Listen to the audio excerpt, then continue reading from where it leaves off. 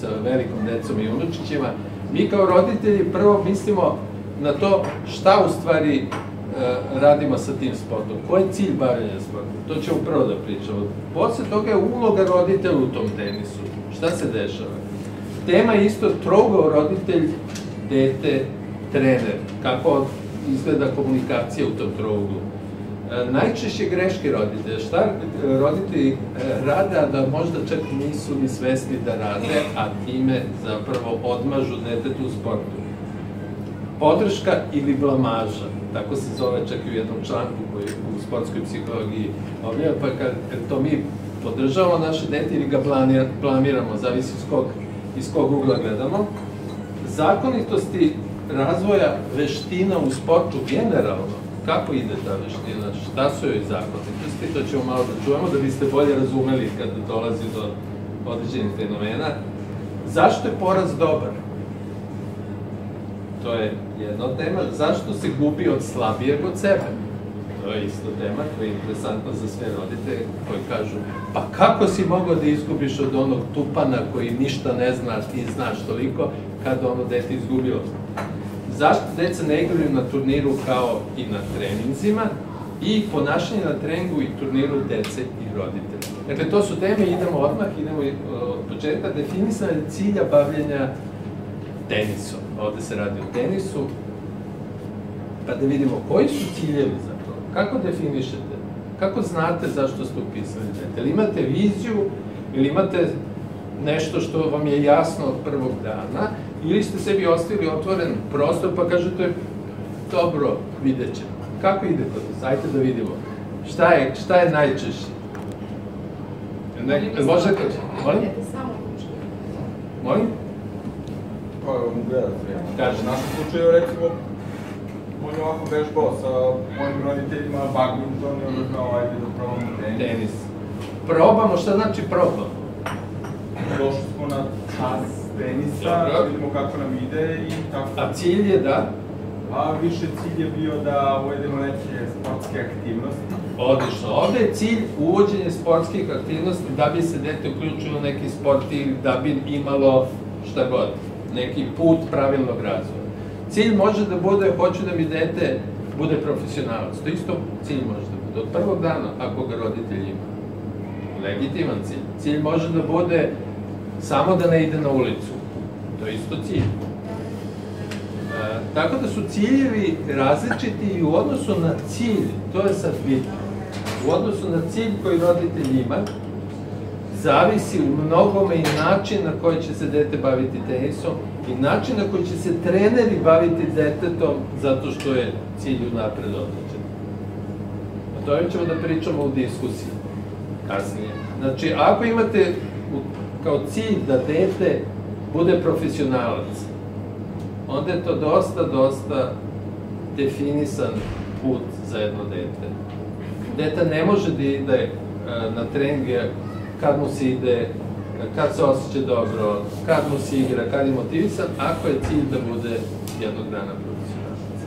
Da li je cilj uopšte dobar da od početka urate dete u profesionalce, to je posebno pitanje i kako se u stvari definiše da li je dete za profesionalce ili nije za profesionalce.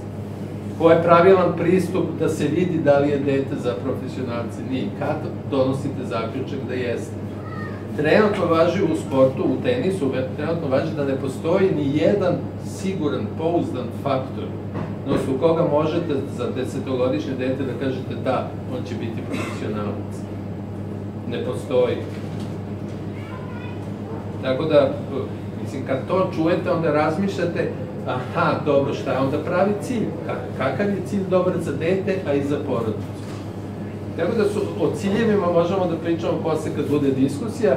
Sljedeća tema je, koja je vaša uloga? Koja je uloga roditelja u tenisu? Ako imate mladog tenisera i vi ste mu roditelji, šta vi radite kao roditelj? Koja je vaša uloga?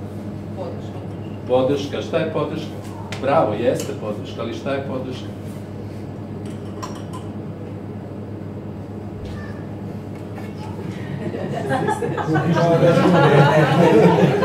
E, vidite, to su sad...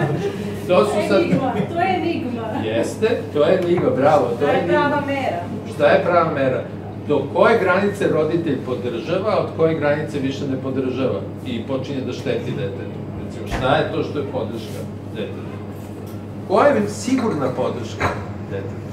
Ljubav u svakom slučaju. Tako je, ljubav. Šta mu kažete kad ide na tenis? Ideš da uživaš i da se igraš. Idi da se igraš, idi da uživaš, deo, to je deo podrške. Šta je još podrška? Ako mu kažeš ti idi da, idi da se igraš i da uživaš, ako ostane na tome, Taj maksimum. daj maksimum, bravo. Da Daj sve od sebe, trudi se, pokušavaj, daj sebi neki mali cilj. E, to su podrške roditeljske, ali ne, slušaj, tako je, tako je, slušaj trenera, veruj treneru. Slušaj šta ti priča i razumi šta ti priča i pokušaj da uradiš to što ti priča. Podrška je isto, daj sve od sebe, ali kad vidiš da više ne možeš, ceni svoje mogućnosti. Znaj gde ti je granica. Da dete tamo ne padne, da ne kolabira, nego da počne da razume gde su limiti. Dete treba prvo da razume. Deca od, od 12 godina, koje dobro, vaši su mlađi koliko, koliko znam, deca od 12 godina, 13 već treba da počnu da piju e, tečnosti sa elektrolitima, zato što su to već ozbiljni mečevi, dugo traju i počinje telo da dehidrira. Tu treba isto da se nauči dete da to trener kaže, to i roditelj treba da primeti, uzimaš li dovoljno tečnosti pre, uzimaš i za vreme meča, uzimaš i posle treninga dovoljno tečnosti. To su isto podrške, ali ne podrške u smislu mešanja tenis, nego piješ li ti dovoljno tečnosti za to čime se baviš. To je roditeljeva dužnost, isto pored trenera. Trougao roditelj, dete, coach. Roditelj, dete, trener. To postoji kao, na difu se uči kao trougao, čuveni trougao, znači postoji trener, postoji učenik, dete u ovom slučaju, i postoji roditelj. I kako ide ta komunikacija između roditelja, deteta i trenera? Šta je tu najvažnije? Šta vi mislite da je najvažnije? Razumevanje između trenera i deteta, ja bih rekao. Prvo komunikacija jeste da se ustanovi neko razumevanje opšte komunikacije. To je jedno, da postoji komunikacija. Dva, šta je dva? Poštovanje. Poštovanje, uzajamno poštovanje. Šta je tri? Poverenje. Poverenje. Šta je četiri? Su usklali neki ciljevi sa trenerima. Zajedno se dolazi do, za, da, zapravo ovde se radi o saradnji, saradnji roditelja, trenera i deteta. Oni zajedno rade na istom cilju. Ali ono što je jako, jako bitno jeste da se znaju jasne granice šta je roditeljski deo, šta je coachov deo, šta je detetov deo. Ako ne postoje jasne granice šta je čiji deo, e, eto nama problema. Dakle, roditelj kaže, pa što si igrao sve vreme backhand, a onda dete kaže, pa coach mi je rekao da mi je backhand bolji trenutno i da igram više backhanda. Nema pusti ti coacha, počinje pakao. Počinje pakao, zato što roditelj misli jedno, coach koji zna stvari na terenu i zna kako ide misli drugo, dete je u problemu, jer ne zna više gde da se okrene i koga da sluša. A ako mu sluša coacha, onda gleda u roditelja koji tamo se mršti i čupa kose. A ako sluša roditelja, coach pokazuje kao šta ti to radiš tamo. I onda je dete zaista u problemu. Da? Dakle, jasne granice između onoga što radi coach, onoga, onoga što radi roditelj i onoga što radi dete. U tom krugu je možda najbitnija stvar da se te granice poštuju.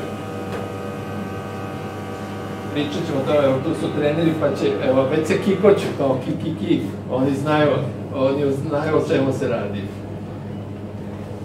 Dobro, a, dalje što bi mogli da pričamo jeste a, najčešće greške roditelja, ja mislim da ste tu sad, ovako se, svi se ovako osjećate da ste prozvani nekako, mora da grešim. Šta je sad to što ja grešim i šta je tu najčešće? Uh, Sigurno grešimo. tako je, sigurno greši. Da. Dakle, šta je najčešća greška roditelja?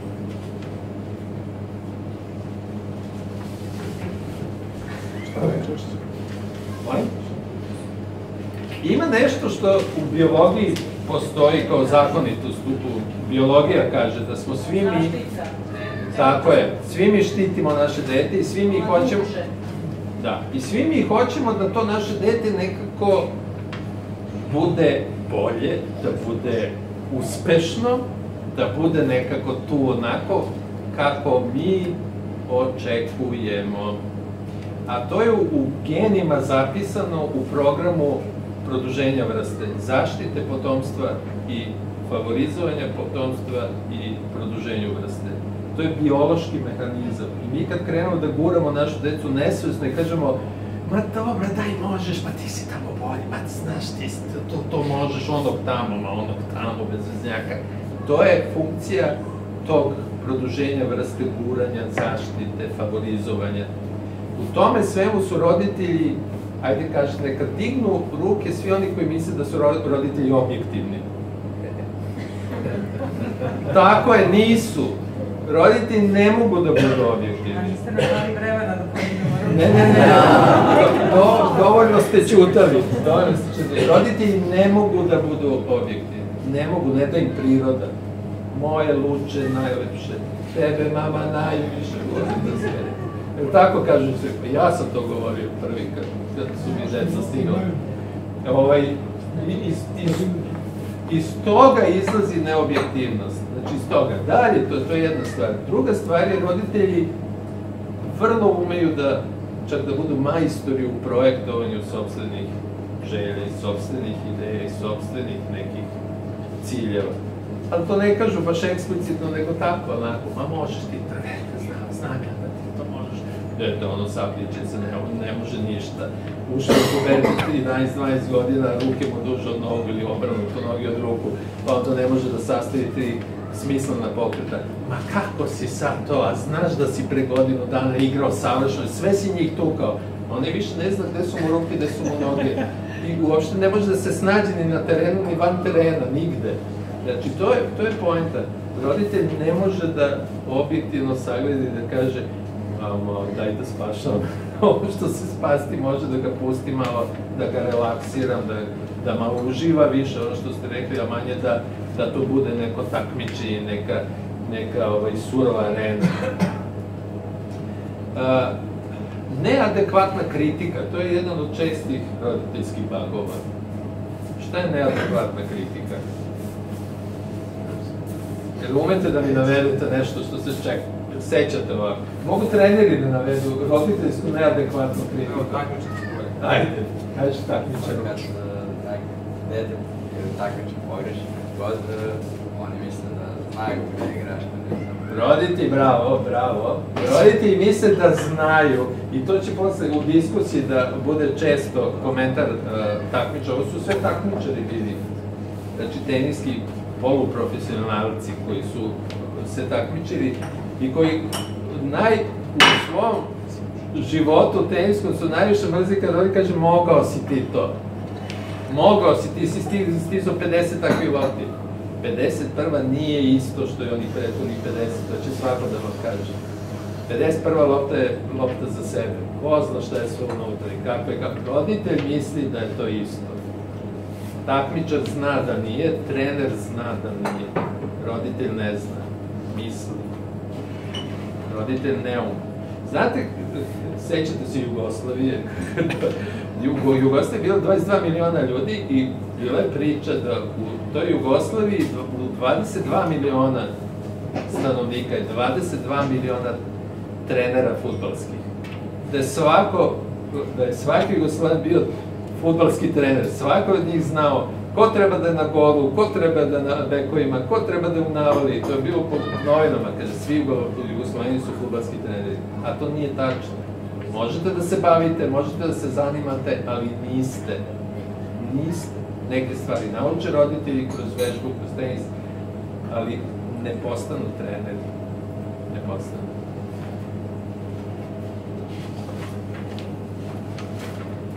Podrška ili blamaža? Dakle, šta je podrška?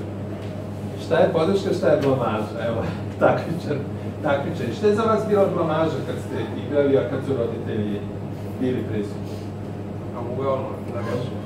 komentari u toku meča, ali ne komentari vezani za tenis, nego komentari generalno neki ono nevezani ni za tenis, ništa, evo, igraš meč i on neki baci komentar da li isto iz e, neke situacije iz života što se dešavalo vezano za tenis, a tu su neki ostali, da li klinci, drugari, ovo ono, koji ovaj to radi. To je bilo ono, to je ono pečatirano skroz. Dobro, izvoli, tako je bilo. Ja sam, ja sam imao priliku da radim sa bivšom teniserkom. E, vrlo, da kažem, uspešno, čak i došla do nekih 300 i neke pozicije na vetra turniru, koja mi je rekla da, da je a, po tome kako je njen roditelj prekrštao noge za vreme meča, dok je ona igrala meč, po tome kako je prekrštao noge, znala da li će posle da dobije batine ili ne. Dak- Dakle, to, to kad pričamo a, kako se roditelji ponašaju, kako se roditelji ponašaju, onda da znate da ima i takvo ponašanje, da roditelji zapravo sebi daju za pravo da direktno intervenišu u, u postupke deteta, u, u igranje tenisa deteta na način koji naravno se smatra neprihvatljivo. Ono što je, što je iz a, slučaja naših uspešnih tenisera došlo, a to je, pa dobro, pa njih su roditelji šamarali, pa njih su roditelji to krivi. Je li to dobar razlog da se tako ponašate za, prema detetu? To je pitanje sa vama. Je li to dobar razlog da, da dete bude posle visoko rangirani teniser? Dakle, šta je sad tu prava podrška? Da ne filozofiramo, nego šta je prava podrška? Šta reći detetu da mu služi, da ga, da ga motiviše, da mu popravlja e, njegovo izvođenje, a ne da ga, o, što su rekli igrači, da ga gura na dole?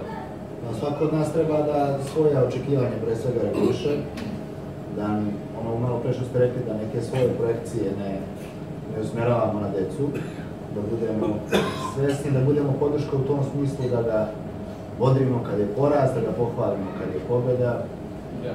bez ikakvih sad nekih kritika i te kritike nekad znaju da budu plodonosne, međutim treba i tu neki trenutak da bude dobar nas kad, kad ovaj, uputiti kritiku, kad ne treba, kad je treba pustiti na stranu da mora da Mogu ja, se Izvoli, izvoli. Pa Ne, da sam kažem samo da je često problem i na turnirima i ovako kad srećeš i pričaš s roditeljima to što mnogi roditelji svesno ili nesvesno pokušavaju svoje neke neostvarene ambicije iz mladosti da preusmere na dete i da to što oni nisu uspeli da ostvare da li to sportski rezultat ili neki ovako rezultat, to pokušavaju da njihovo, da njihovo dete ostvari. Da. Evo, čuli ste direktno iz usta i, i bivšeg igrača i sadašnjeg trenera da, da je to nešto što se vrlo često dešava. Ne samo u tenisu, nego u svim sportovima. svim sportovima. U svim. Šta je dobra, šta je zdrava podrška? Zdrava podrška je upravo ono što smo već pomenuli. Da kažete detetu, e, slušaj, idi igra, idi uživaj, idi takmiči se, idi nadmudruj se, nemoj da se nadjačavaš i to. Te, te, probaj pa vidi. Šta je dalje podrška posle meča? Podrška posle meča, ako je dete izgubilo i zarozano je, nemojte mu pričati ništa. Dva sata posle meča ništa. Ništa. Ili sutra dan, ako već uveče bio tenis, sutra ujutru sedite s detetom i recite, čuj, ono je bilo su... A, cela ta priča o porazu ide sad kao sledeća tema, a to je da deca moraju, da bi imala dobru podršku u porodici, u roditelju, moraju da neke stvari razumeju drugačije nego što se razume inače. Pobeda je super, poraz je katastrofa. To je generalno tako napravljeno. Ko izgubi katastrofu, pa kako, pa dobro, opet si izgubio u prvom kolu, pa mislim.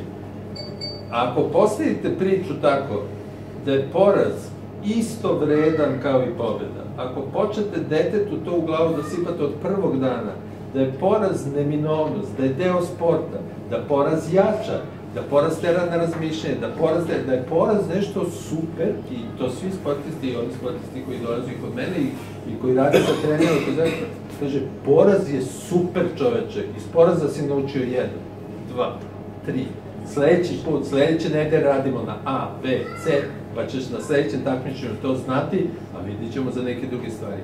Poraz je super. To je prva, prvi korak u dobroj podršci detetu. Kažeš, e, idi igraj se, ako pobediš super, ako po, izgubiš super. Obe stvari su super, ali ako kažete, pa dobro, nema veze, opet si izgubio, to je ono, eto, mislim, bez veznjaku opet, opet nisi uspio, dakle, ne, poraz je super. Idemo dalje. Ima, ima nešto što, mislim da vam to nisam napisao tamo, ima nešto što se kaže e, u psihologiji odvajanje bića od ponašanja. I to deca počnu često da brkaju kada krenu u takmičarski sport, a, a to je ovako. Dakle, dete kaže, dobro, ti me voliš, ti si mi mama, ti si mi tata, vi me volite zato što sam vaše dete. To je ljubav prema biću. A onda ispadne, e, pa ja sam izgubio, tata je tužena, mama namrštena. Aha, znači oni mene više ne vole. To dete zaključuje. Zaključuje da na osnovu svog ponašanja je ugroženo njegovo biće. Odnos biće i ponašanja je jako bitno kod sportista. I odnos roditelja prema svojoj deci je užasno bitno u tome da razumeju da je biće jedno, da je ponašanje drugo.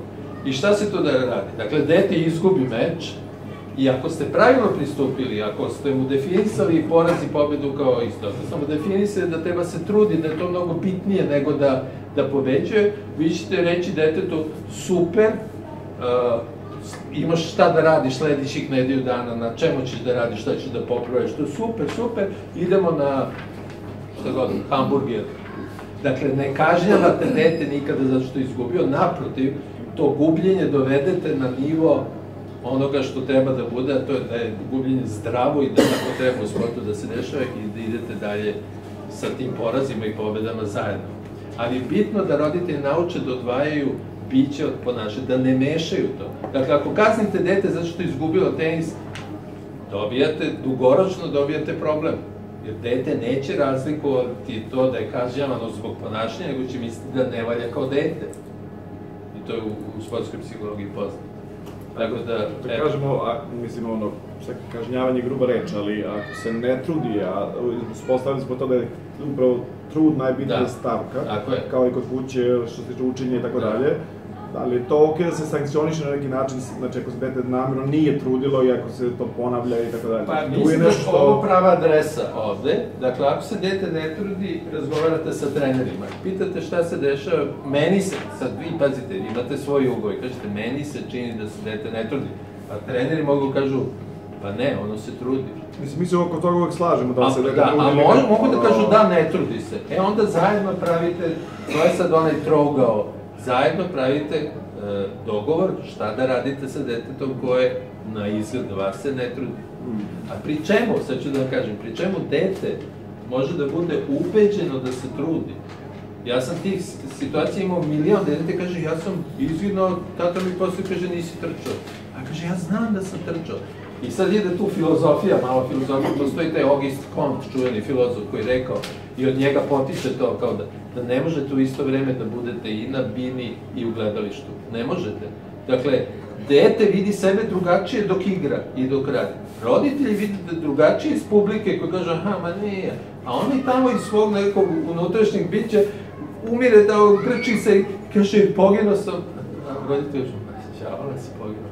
Tako da uzmite u obzir i to, da dete može da ima istinsko, sve autentično doživljavanje da, da se zaista trudio. I tu sad onda ide trougao. Tu ide trougao, da se roditelji dogovaraju sa trenerom i kažu, ajte da vidimo da mu pokažemo nekako ono što mi vidimo šta je trud. Što dete ne razume u suštini dokle ide taj trud. Gde je ta granica? Vrlo moguće. Vrlo moguće. Pogotovo kad uđe u pubertet. E, čija deca su u pubertetu ovde? Koje godine? Molim? 12-13. Možda i 11 kod devojčica. Uh, u, u pubertetu budite jako pažljivi kad ulaze u pubertet, ali oni više uh, nemaju istu perspektivu. Kad ulaze u pubertet, više to nije perspektiva deteta od pre puberteta. I onda tu može da dođe do ozbiljnih razlaza u viđenju stvari. Drugo, dete kad uđe u pubertet i kad počnu naglo da rastu ekstremiteti, dete zaista pokušava da se trudi, zaista pokušava da da sve od sebe, to ne da radi, jednostavno ne može da radi.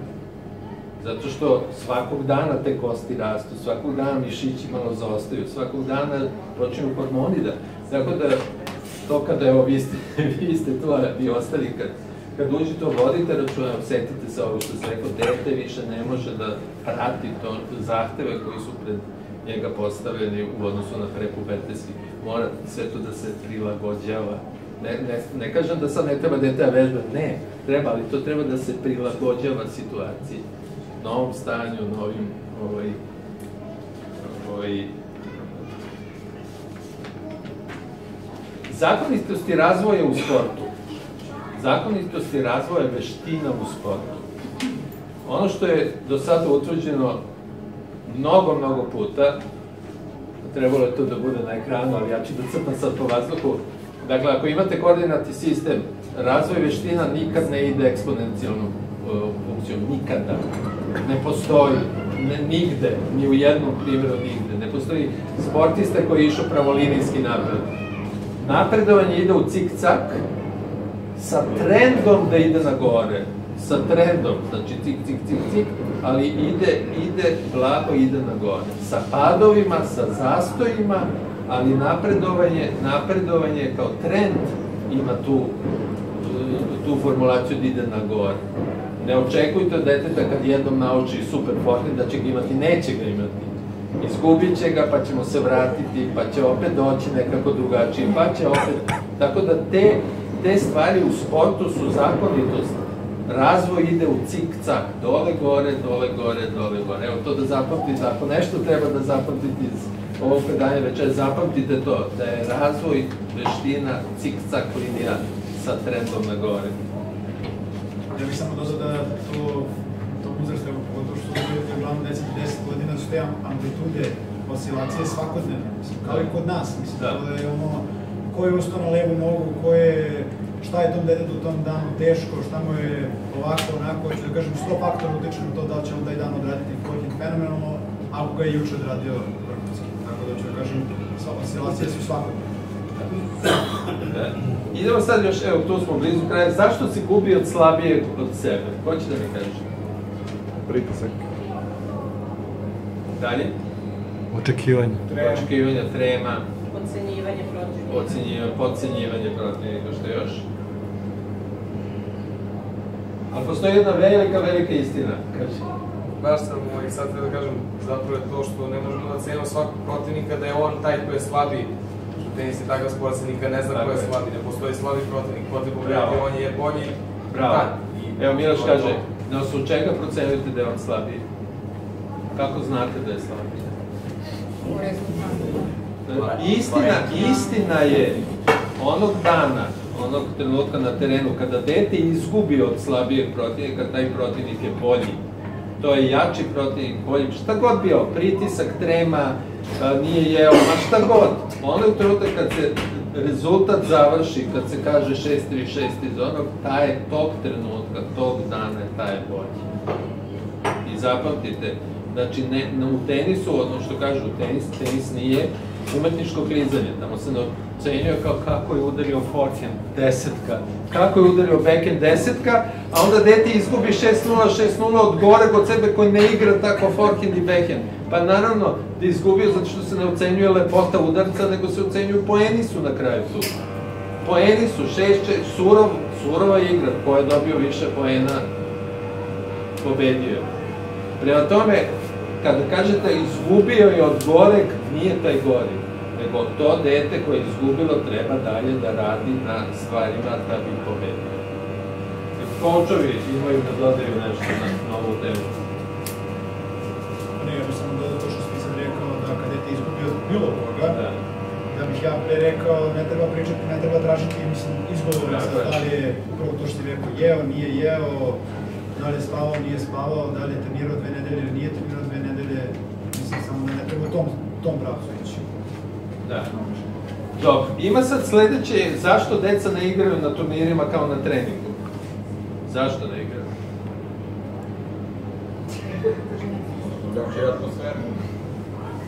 Zato što Uslovi. treninzi i turniri nisu isto. To nisu, kaže, pa kako si igrao na treningu, a sad si ovde? To nisu iste stvari. I kad počnete da shvatate da trening i turnir nisu iste stvari, napravit ćete veliki korak. Kako se dete priprema za turnir? To je sad druga priča potpuno. Ali jedna, jedna od stvari koje treneri znaju, a to je pred turnir deci se prilagođavaju uslovi što više mogu da da budu turnirski, da bi se dete navikavalo na, na turnirski uslove. Drugo, deca mogu da vežbaju vizualizaciju takozvanu, a to je da zamisli uslove da će da igra, ako je već bio u tom klubu, aha, to je taj klub, znam, sad zamišljam pune tribine, sad zamišljam ovog treba. Vizualizacija pri, privikava se, vizualizacijom se privikava na uslove i kad dođe u te uslove bit ćemo mnogo ovaj, prijatnije nego kad ne bi to radio. Znači, to je jedno znak. A da znate Igrao je mnogo gore na turniru, da, igrao je mnogo gore. Ima dece koji igraju i na turniru i treningu, da, ima dece koji igraju na turniru, jer oni rade neke druge stvari, neki drugi pristup imaju, to je možda interesantno uh, pričati o tome šta rade ta deca koji igraju isto. Ali o, o tom, o tom potom. I evo, tu smo pri kraju. Uh, ponašanje je sad ovde i možemo da krenemo sa diskusijom, u stvari ovde ponašanje dece i roditelja na treningu i turniru. Dakle, kako je to, koja je to dobra forma ponašanja roditelja na treningu? Ajde prvo trening. Šta je to? Šta je dobro ponašanje roditelja na treningu? Da sede i da posmatraju trening. Sede, pijuckaju, uživaju, gledaju kako se dete trudi, znoji, trči. To da. Šta još? To je potrebno da ih bodrite ponekad i kažete super, a ne, ne žurite sa bodrenjama, nekad možete da bodrite nešto što treneri ne bi bodrili. Možda ne bi. Je dobro, ako je sve što je u skladu s onim što je trener postavio kao cilj. Dobro, to da, ako ste se s trenerom dogovorili, ako imate zajednički, nek, ne, zajedničku neku ideju, neki zajednički mali program, to da, u skladu sa tim da. Na turniru, šta je, šta je dobro ponašanje roditelja na turnirima. Evo šta je dobro ponašanje roditelja na turnirima? Šta bi ti mogla da... Da ćute. Da. Evo imate iz prve ruke. Ja iz svog iskustva. Da. Isto, mislim, dete mi je takmičar i samo je rekao, mama, nema ništa komentarisati, ja koji smem da kažem bravo. On je rekao, da, mama, to sve. Poslednji turnir je tako prošao, sve je bilo idealno. Njegovo ponašanje, pošto sad radimo više na ponašanju i odnosu prema tenisu, a pobede Da dobro, evo to, to smo sad malo pričali. Otvaramo diskusiju, tu je, tu je ovaj, tu su treneri. Ja da idem. Aha, znači, hvala, hvala što si došao, hvala na doprinosu. Svojevoljno u ovaj tenis, jer je Miloš prije godina nego ima derbi. Pre godinu i po dana Miloš je došao u školu njegovu i a, tamo pokazivao, promovisao. Imali demonstracije. Da, demonstracije. A, Miloš? Miloš, Miloš, da. A, Ovaj, oduševio se i hoću, hoću malo da pokušamo. Mi smo krenuli, znači, krenuo je sa koc, dete sa talentom i evo, doži, mislim i doživao je uspehe, ali u ovom mi, klubskom samo turniru, znači to bar. Ove, nije dalje išao zato što je taj jedan prvi poraz bio je katastrofa lupanje srca, znači drkanje brade, znači mi evo još uvek, on želi, ima želju, ima strast, hoće da ide turnire, ali i dobar je, mislim, trudi se na treningu. Kakav je u školi? Odličan, ali trebaš. I u školi trebaš. E, to što vi pričate, to se u psihologi, u psihologiji e, zove e, sklonost ka perfekcionizmu. E, jesam. Dakle, on pokušava da bude nešto naj, da bude Ja savršen. to se kažem. Da bude savršen, dobro. Kako to, ovaj, kako to? Da. Moj češće sa 16 još uvek ima trening, da ide na turnir. 16 godišnji. E pa to, to, sad, da ne ispada... Pošto je perfekcionista. To, to, je, to je, obično je to pozadina, obično je to pozadina. Ne mora da znači uvijek u psihologiji nije jedan na jedan. U psihologiji nije, ako je ovo, onda ovo. Nekad jeste, nekad nije. Nekad, nekad je u većini slučaja nešto, onda u nekom manjem broju nije. Ali, a, mora da se radi sa detetom na perfekcionizmu. Mora da se radi, a to znači, a to znači da mu, pa sad pazite, nije dete palo sa Jupitera, pa došlo tu i odjednom. Dakle, postoji porodična, postoji porodična, da kažem, atmosfera, e, roditelji, roditelji sa decom komuniciraju ne samo verbalno, e, dobro, ma nije bitno, igraj se i to, nego komuniciraju i neverbalno. Deca razne poruke u porodici. A vi možete kažete, ma nema veze, igraj se. I da budete namršteni, da budete, da dete kaže, ma ne, meni tata nikad ništa nije rekao, pa dobro, a šta radi tata kad se ti, kad ti izgubiš? On kaže, užasno je tužan. Dakle, to što je tata užasno tužan jeste poruka detetu. Iako ništa ne kaže verbalno, on neverbalno bude jako tužan i sa puno poruka. Ajde gubi pa će tata da se raspadne u tugi. Ili, ili već da malo karikiram, ali to je to. Te stvari treba malo proraditi. Gde je dete, odakle dolazi taj perfekcionizam, šta je iza, malo iza toga. Znači, to su, to su sad neke stvari koje, koje su, nisu jednostavne, ne možete kažete ma jok, ne, nisu jednostavne. Mogu samo da kaže, sećam se, zašto postoji isto i situacija uh, roditelja koji stvarno govore to što ti kažeš, ovaj, da on nekad treba da se igra sve to, ali dalje uh, duboko, ne duboko u njima, znači bukvalno malo ispod površine i dalje taj osnovni motiv jeste taj uspeh, uh, većina njih gleda neke stvari kao da njihovo dete investicija, koliko god da njega voleli, njima je na površini ta ljubav i sve to, ali ispod površine malo se zagrebe Oni vide dete kao neku investiciju ili tako nešto. Ja znam iz mog slučaja, da, kao projekat što ti kažeš, da je, tata je bio je taksista nebitno na jednom klinicu s kojim sam ja igrao, on je izgubio njegov čale posle toga, znači čuva se, ne znam, znate gde je Asti Psarević, danas je to ovaj, gore na Bežani, znači iz Bežani, ja mislim da se čulo do Čukarice, kako se onda red, da je mogao da vozi tri Mercedesa, koliko je novca dao njemu za tenis, nisi prioriš što se dao. Dobro, ti, ti, ti, to je, bravo, to je, to je dobar primjer. Ali i dalje on će ponovo da kaže ne, put, pa neka samo se igra, ali će i dalje, ako izgubi, izaći na površinu ono što je, da, u stvari, bukvalno. Ali mi svi stvarno imamo te želje. Mislim, ja ne očekujem da će moje dete biti Đoksić, ali sam vam kažem, ako da krenete površinu, ja bi stvarno volao da bude Đoksić. Mislim, da se razumemo. Da. Ne mislim da je ona moja investicija, nego bi stvarno volao da budem uspešna. Da ona bude uspešna i samim tim ću ja da budem uspešna. Napravili ste, napravili ste Tako je, to. Napravili Ali ste omašku. mislim uopšte, e, pre toga je bila na baletu, ne znam, tri godine, pa od toga stvarno ništa nisam očekivala, ali sam je očekivala ovde i ovde imala baš veliku želju. Imam osjećaj da... Da li ima još? Ima želju, ali isto perfekcionizam, isti problem, neće da na takmičenju, njoj servis nije perfektan i veke nije perfektan i ostalo, a opet bi volala, mislim, što ne bi volala da uspešna? Volala bi šta god da počne da bude uspešna i prizirka da bude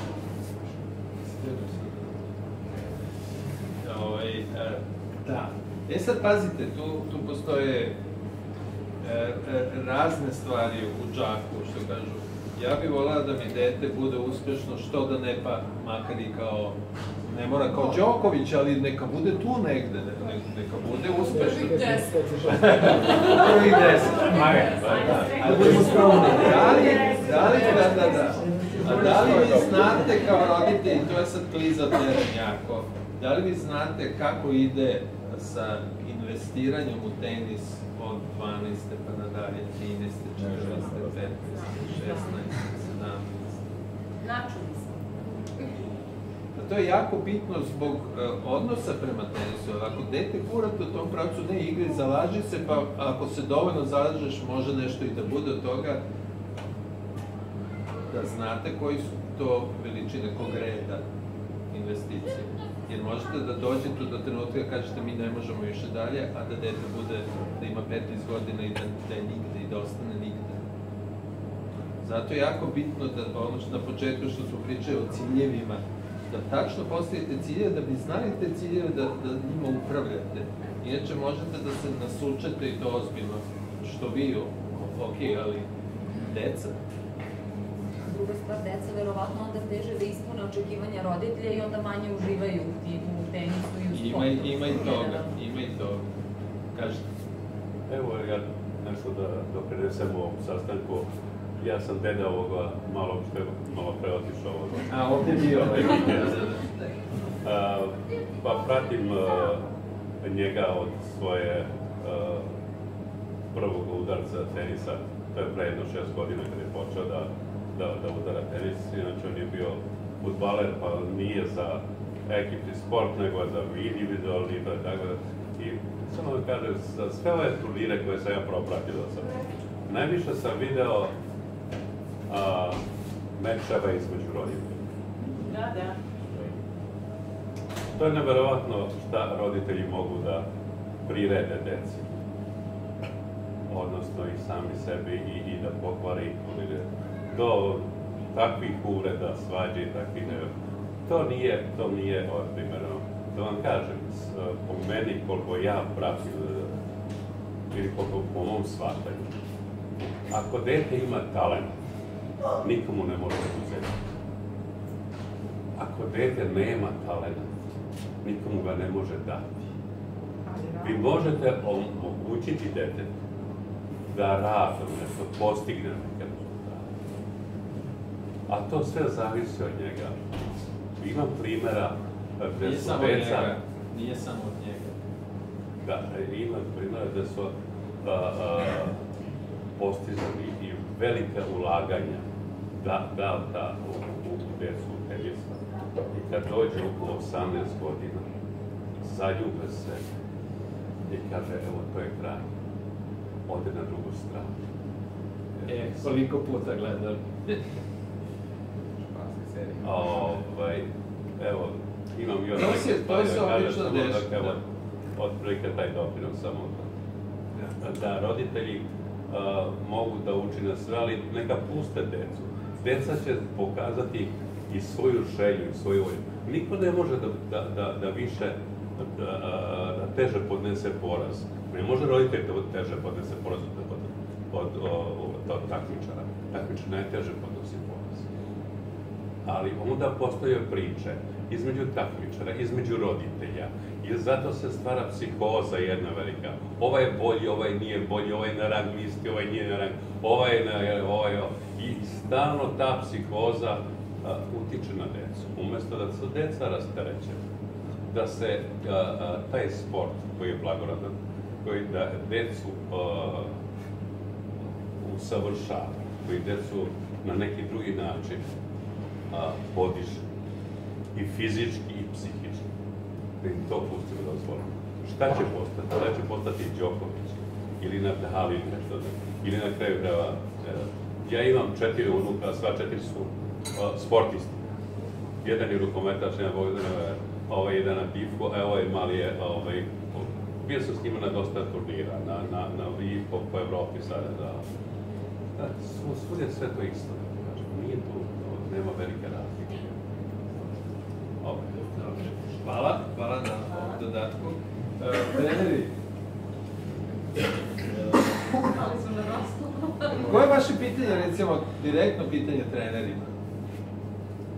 Ja bih voleo jedno pitanje vama još, ponovo, ovaj, mislim da vi nama niste objasnili najvažniju stvar, pokušali da objasnite, ovaj, mislim da većinu nas muka imala muka ovaj, ponašanje deteta posle poraza. Posle poraza. vidim Da, da dosta ljudi ovaj, ima sličan problem kao i mi. Znači, ne mislim uopšte da, da pokušam da budem objektivan, da ni ja ni supruga rad, no, vršimo bilo kakav pritisak na njega, konkretno, niti treneri, a on ima taj neki gen, mutagen ili šta god da je.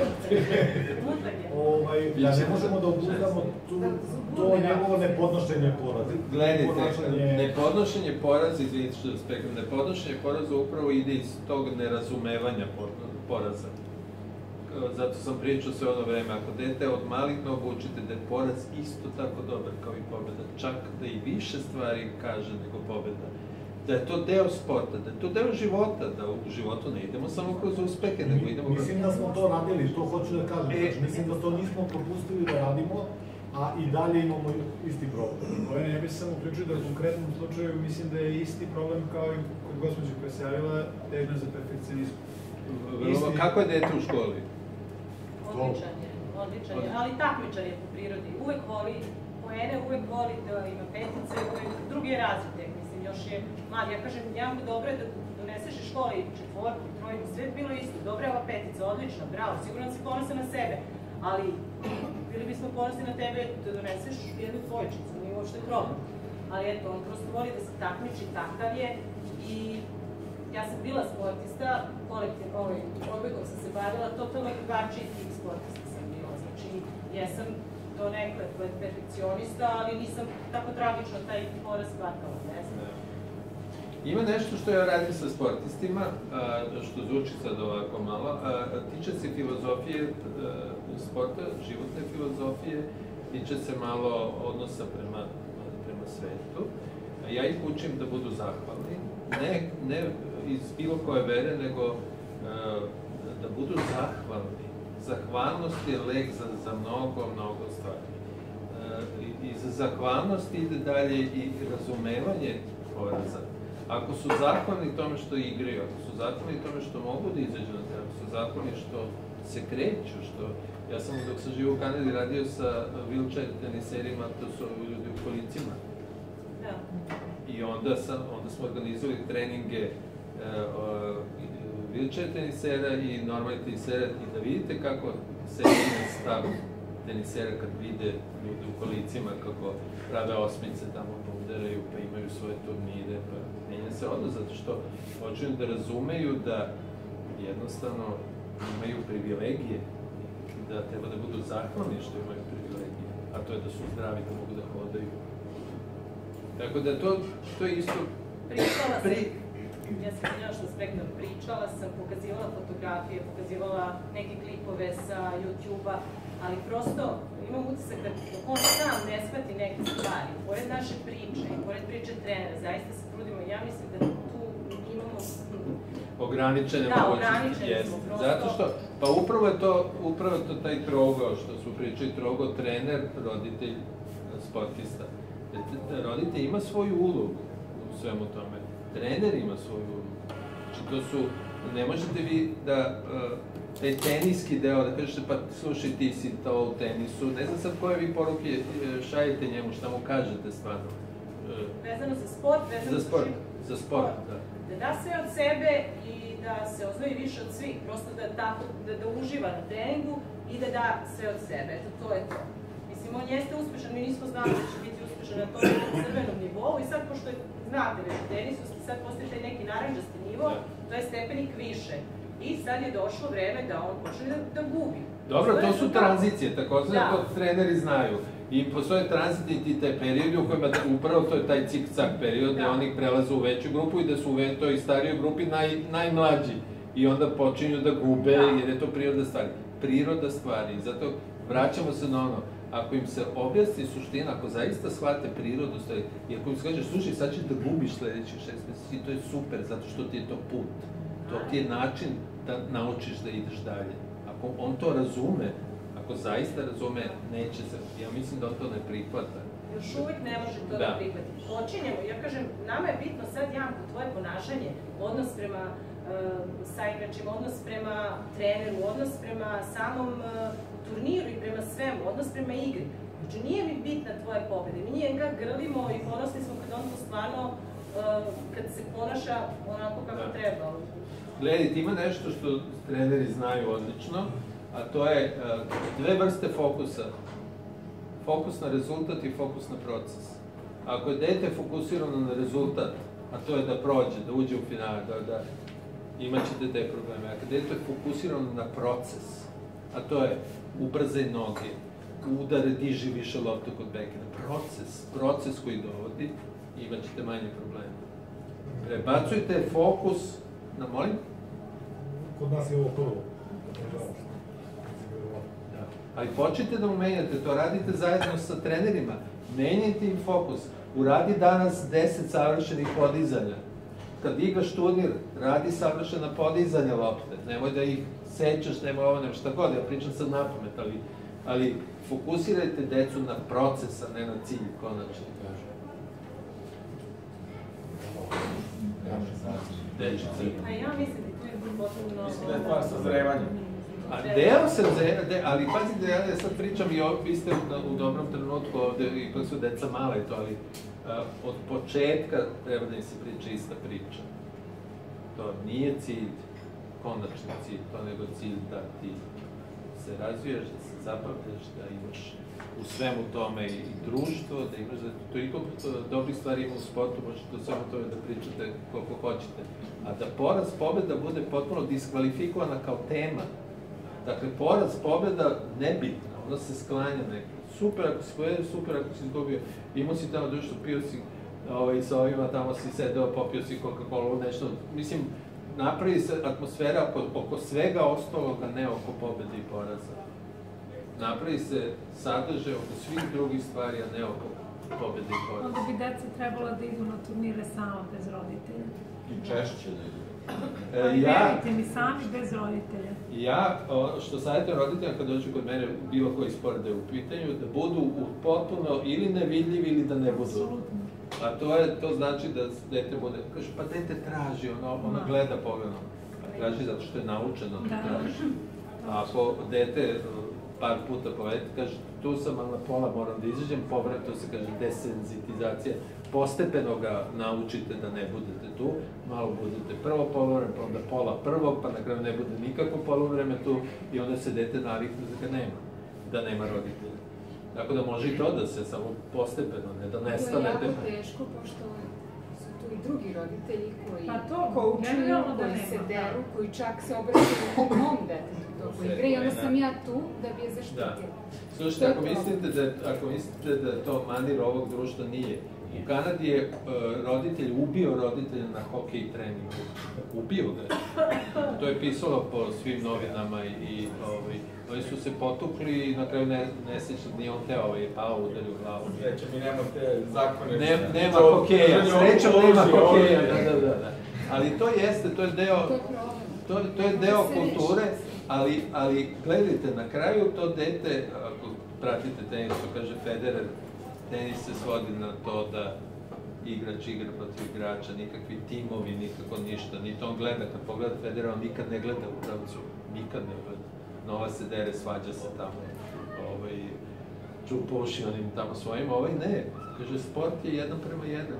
I njegovi roditelji su pre par godina rekli mi nikad nismo ni dolazili, redko, kaže, ponekad onako dođemo, nismo ni dolazili, ne sam to peglu tamo. Tako da je to put, put je da polako dete osamostaljuje. Vojene, samo izvinite, da rekli dodao bih samo nešto, mislim. Samo izvolite, situaciju dodajte, u gospođe, pošto sam prisutvovao, bio sam sudija na Da, da. meču kad je gospođa isto bila tu.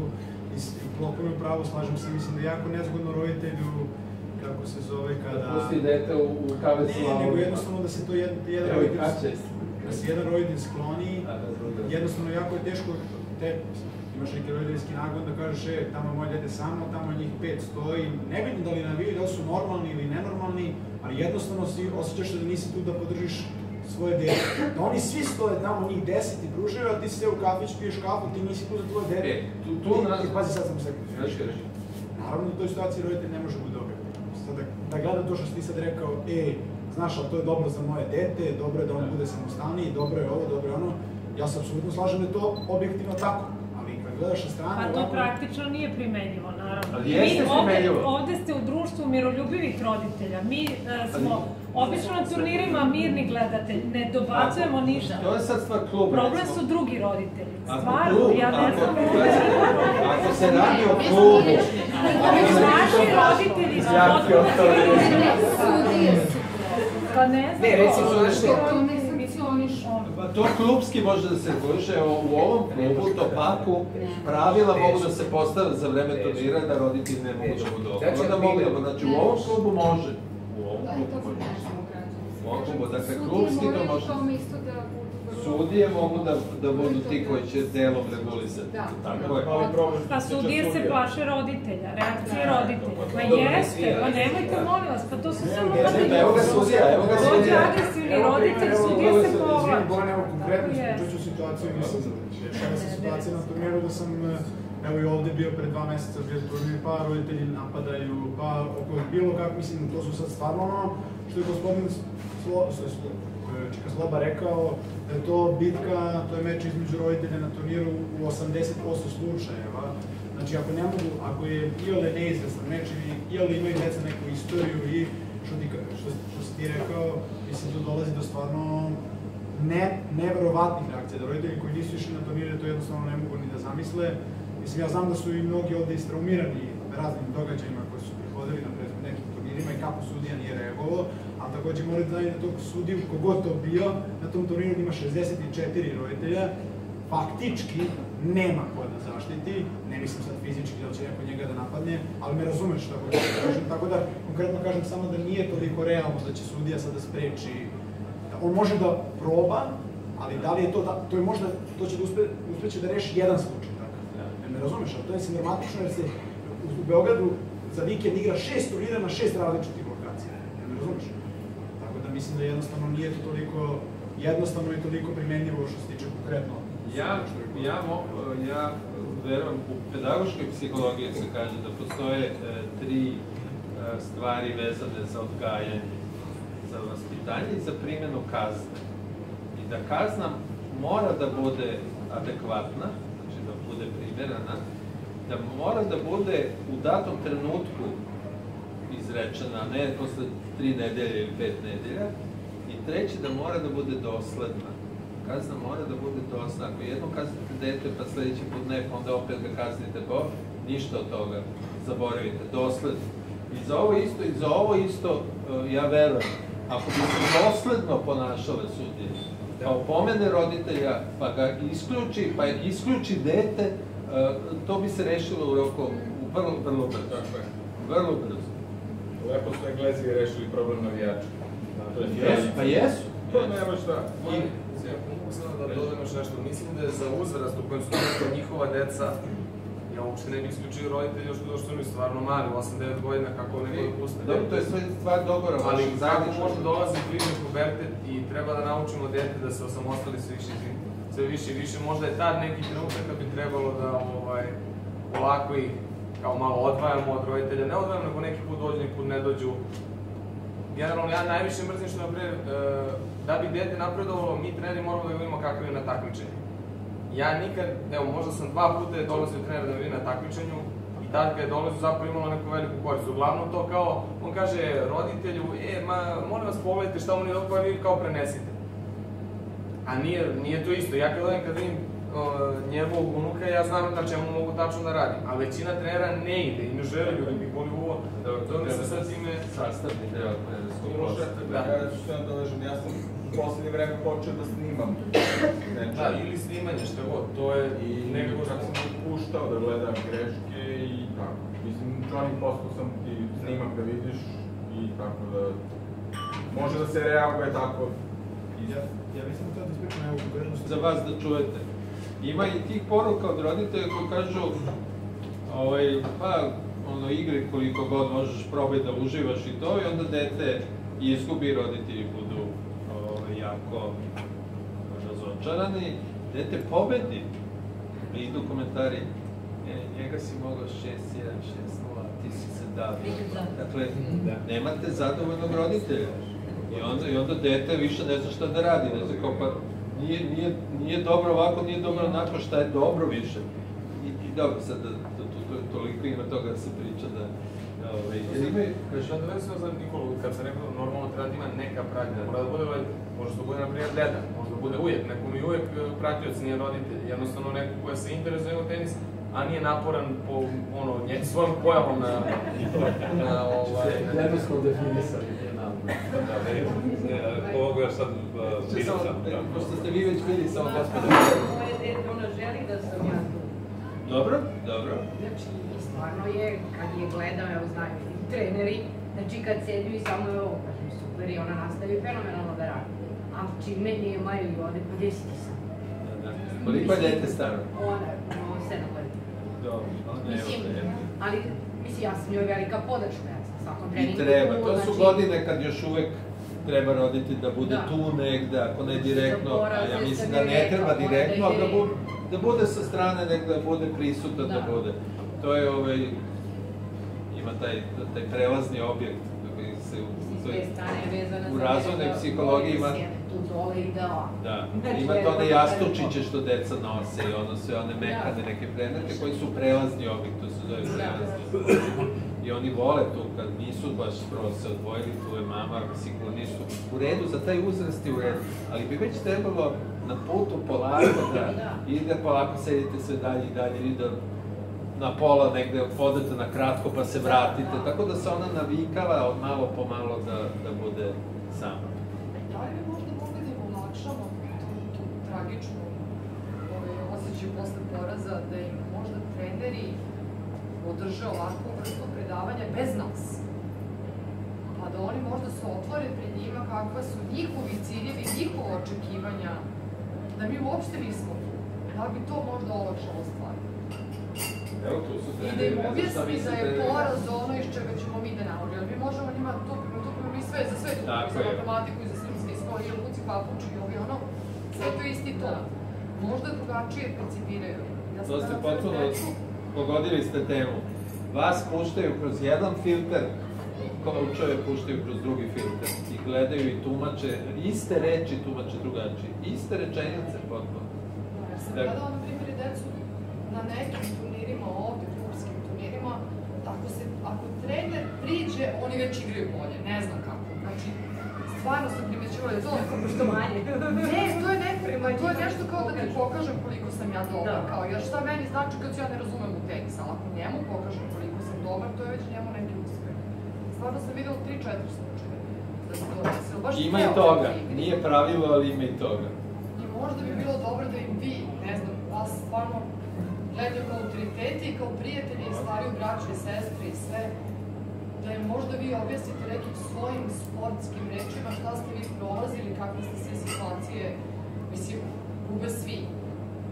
I dok moraš se boriš, šta mora staneš opet na noge, da li je to tenis, ali u životu moraš da staneš na noge. Ja mislim da bi možda više značilo, ja mogu da sad pričam s njom o svemu ovome, ali ja mislim da kako Kaća, Nikola ili Miloš nešto kažu, to je nekako zakon dođe, mislim. Bar kad je tenis u pitanju. Kažete. Možemo da učimo jasne granice u tom. To- A ne, da se mogu da čujem. To, to se dogovarate sa trenerom, to je stvar dogovora. Ne može. Pa ne, nego, nego čujemo onako glasno. Od vas? Da. Od mene? Pa Da. evo, gledajte, ja mislim da roditelji, e, roditelji ne treba teniske komentare da daju uopšte, u smislu forehand, backhand, tehnika, to. Mogu u odnosu na trud, mogu u odnosu na želju, mogu u odnosu na motivaciju, da kažu čini mi se, a pro, to u odnosu na ono što sam pričao ranije, roditelji i treneri mogu da imaju isti utisak, a igrač da nema. I njegovo je pravo da ima svoj utisak. Iz ko zna kojih razloga, puberteta, ovo, ono, nije ni bitno. Ali da se dogovorite da dete, sa detetom ne komentarišete teniske elemente. Zato što niste tu zbog toga. Vi ste tu da de, deci direktno, da decu podržite sa tim, super si se borio, dobro si se ono, kao pripremio kod kući si bio, ono, si se malo razgibao, to, to zagreo, posle si radio ono stretching i to, super si radio ono što je trebalo da radiš, ovo, sa teniski pitaj, pitaj Pa koče naravno zašto si... taj faktor poverenja prema trenerima. Ako Da. deca dolaze kod njih da treniraju, Da, to znači da mi imamo trenera. poverenje da oni rade Da. sa njima na pravi način. Ja mogu sad da izvijem, baš Neki mi sad, stručne komentare davali kad nismo stručni po tom pitanju. Baš me sad podstaklo time što imamo poverenje. Da bih samo jednu rečenicu kažem vezano za generalno ono što je iz mog ugla. Jer ja, na primjer, kad osjećam nečije poverenje roditelja, potpuno, da kažem 200% poverenja roditelja, ja sam da tu dajem 500%. Ali kad ja, i ako taj roditelj mislim, misli da ja ne osjećam njegovo nepoverenje, makar to bio 1%, ja ću sebe nesvesno da dam manje toga detetu.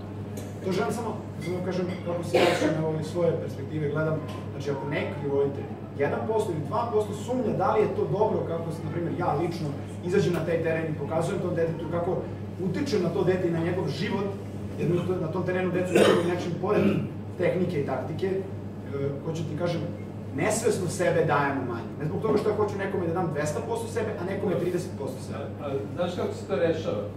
Tako, razgovor. Tako je, pitaš roditelja da li vi imate neke sumnje u odnosu na ovo, da li vi imate neke misli ili možda neki predlog i ulazite u, u eksplicitnu komunikaciju. Eksplicitnu.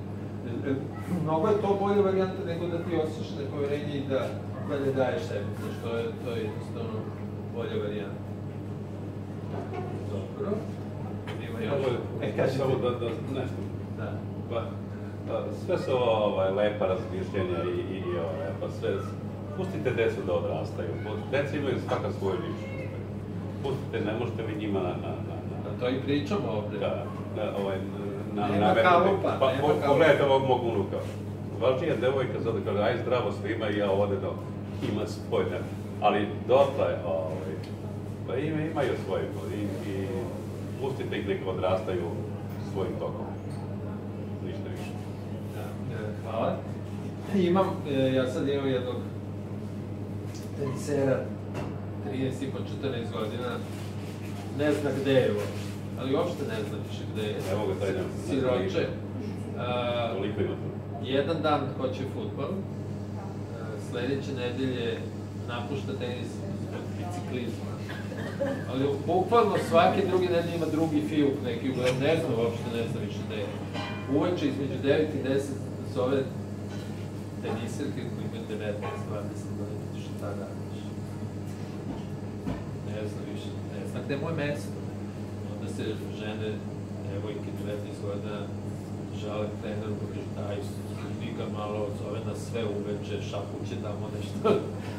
Pri čemu je dete normalno, nije uopšte, nije uopšte, nije uopšte nenormalno, je normalan klinac koji, koji, kome su proradili svi mogući hormoni i ne znam više gde udara. Isto, isto važi i za ženski svet, za devojčice. Tako, tako da, o, to, je, to je to. Znači, treba pratiti, treba uvažavati, treba rad, razlikovati, razlikovati sve te suština u celoj priči kod dece sportista jeste da li motivacija dolazi iznutra ili spolja. Ako motivacija dolazi iznutra, autentična, intrinzička, kako kaže, nije ni bitno, autentična, unutrašnja motivacija, onda je dete ok i treba ga usmeravati. Ali ako dolazi motiva, motivacija sa strane, s polja, od dede, babe, od roditelja, šta god, ti si ovo, ti si ono, onda dete veruje da jeste, a samo nije sigurno. I tako, onda tu, tu već počinju problemi. Od same motivacije. Dobro, evo, ja ne bih imao ništa više da... O, hvala vam što ste bili, hvala što ste došli ovde, da, nadam se da ste nešto čuli što može da vam koristi u buduće. A, tu su treneri za dalje, taj trougao možete sami dalje da nastavite da peglate i da, da nekako činite jasnim dete, dete, coach, roditelj. Dakle, dogovorom, zajedničkim ciljevima, zajedničkim usaglašavanjem i mislim da će ići onda. Ono što mislim samo što bih dodao, što je na mene ostalo utisak je ona prva stavka koju si rekao, cilj. Cilj, bavljenja tenisom. Da li je to socijalizacija, da li je to rekreacija, da li je to takmičenje.